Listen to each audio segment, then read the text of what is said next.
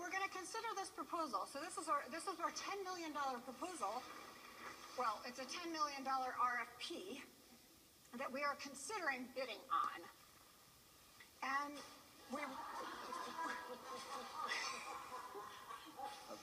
we were not sure if that's what we were going to do because remember last time we might have to outsource part of it. We were going to look into subcontractors. We were going to talk to Noble about bringing it. Noble was going to lead that part, right?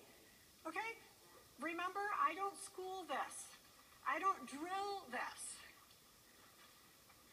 I don't do any of that. Basically, what I'm doing is setting up an environment, hopefully creating a safe space, but not always. Because what I consider safe and what he considers safe is not always the same thing.